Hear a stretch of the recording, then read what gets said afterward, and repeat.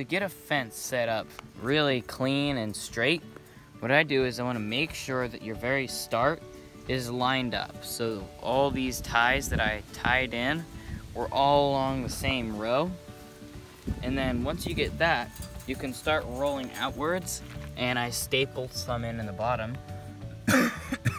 but up at top, I secured these in with zip ties to kind of hold it in place since those are easier to tie. And then this wire came around the fencing that kept it wrapped in. So what I did there, I just cut off pieces and used these to secure it to the pipe all around.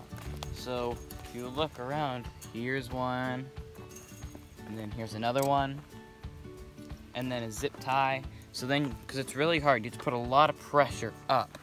So then you can quickly put a zip tie on, and that makes it easier to put the permanent wire. And then at the corner, this is just about the hardest part. There's a lot of tension, so you're definitely gonna need two people whenever you're doing the fencing. So to get it in the rough spot, we're just gonna pull the fence out, kind of get it tight, and then take just a zip tie in the rough spot and zip tie it just like that.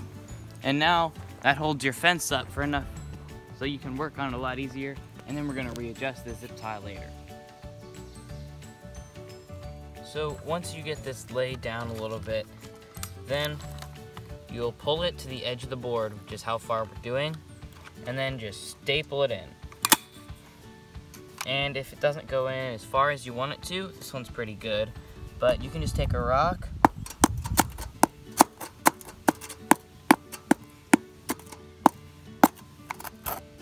and pound it in because that work that works really well and we have a lot of them.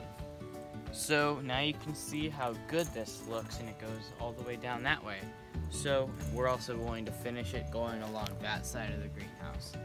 Hope this video was useful. If it was, don't forget to like and subscribe and we'll see you next time.